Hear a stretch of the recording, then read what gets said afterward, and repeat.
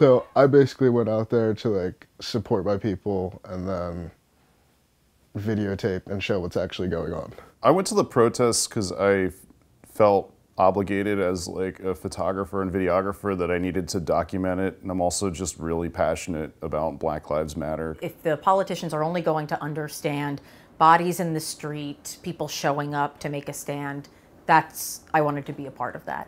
Never really went out and did the activist life. Um, this is pretty much my first time, but I'm a documentarian at heart. Like, I think a shooter's a shooter. Once a shooter, always a shooter, right? And when I was just like, you know what? I'm just gonna get the best shots I can get.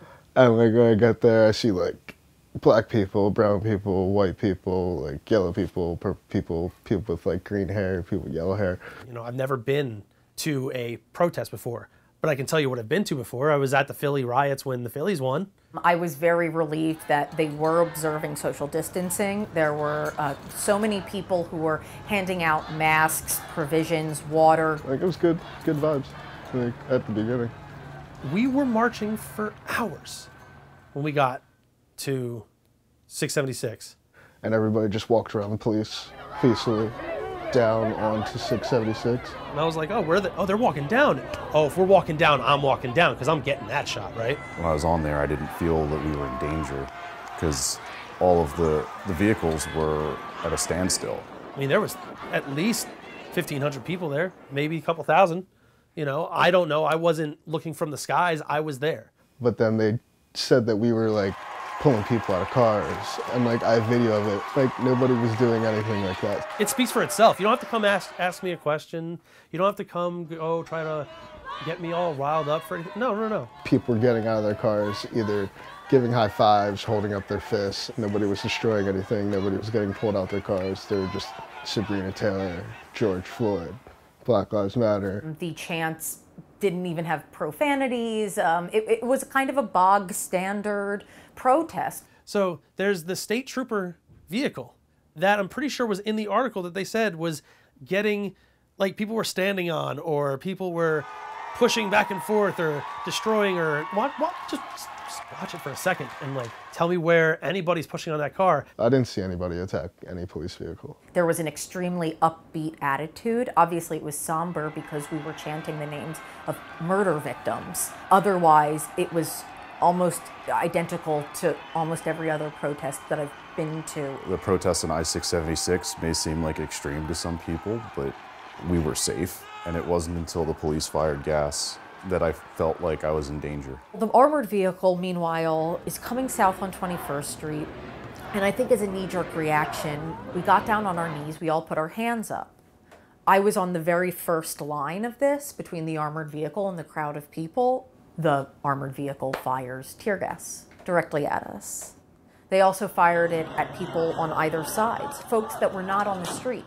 They were shooting indiscriminately. 20 second, there was like an overpass and it got like super dark. And like, I just see people sprinting back. And like some dude next to me is like, yeah, you know what's going on? I was like, dude, I have no idea. I have no idea.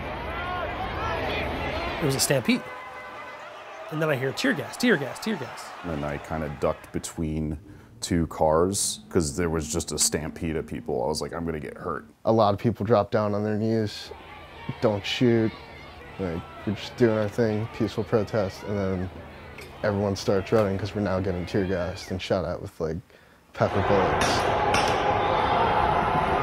Not even necessary. It wasn't like we went down there and like tore apart.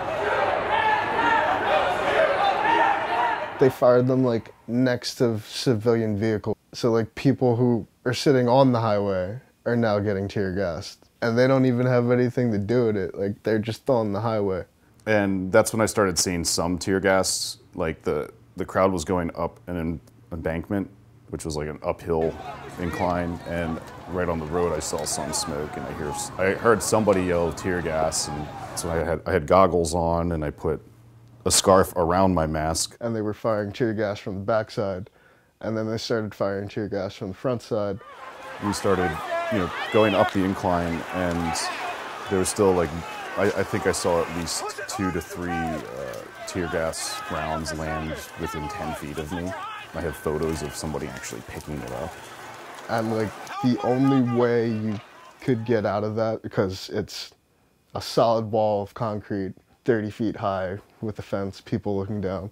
And then there's the embankment, but on this side of the embankment, it's completely solid fence. The violence in the protest seemed to begin in concurrently in two prongs. First, right after the tear gas was uh, deployed to the protesters on the overpass, the they scattered and the armored vehicle was able to take the on ramp onto 676.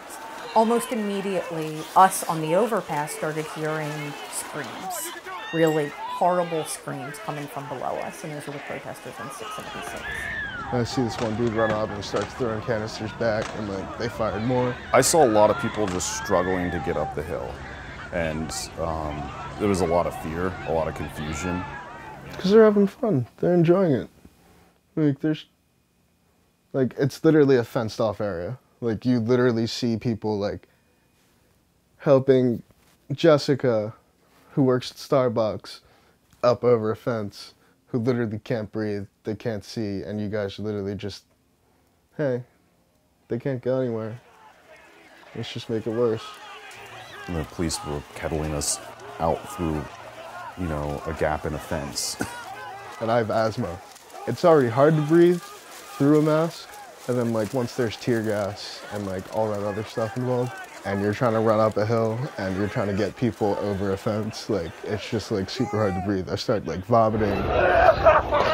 I'm starting to fear for my life because like we're literally like like there are people that climb on top of people. They were peacefully protesting. They were peacefully protesting. And there's a trample trying to get these kids over the fence. Look! Look at this!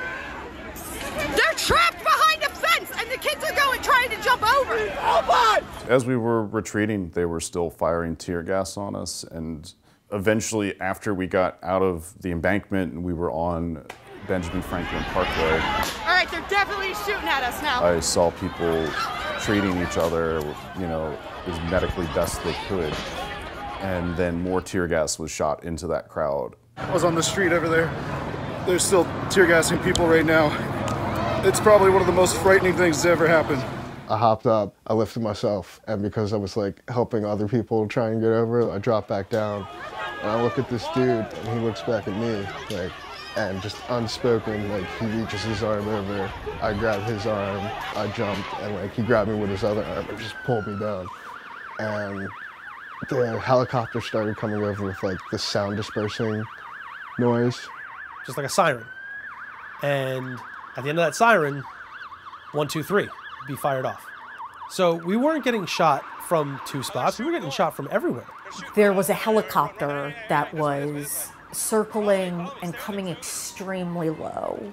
It seemed like it was trying to to spook us a little bit by coming all the way down until you could feel the, the motion of the propellers on you. And I've never seen anything like this in my entire fing life. Never. And it wasn't only that. Then then when the SWAT teams came out on the ground, they were pulling out mace.